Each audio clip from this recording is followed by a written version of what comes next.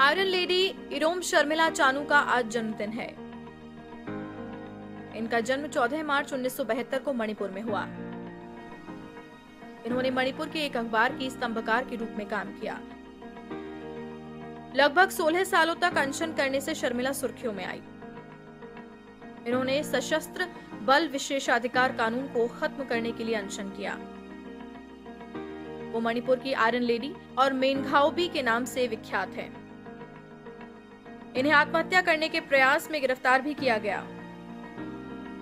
उन्हें जबरन नाक में पाइप डालकर तरल पदार्थ दिया गया। इसके बाद ही इरोम चानू को बार बार रिहा किया गया। कविता और पाठन की शौकीन चानू एक बेहतरीन लेखिका भी हैं।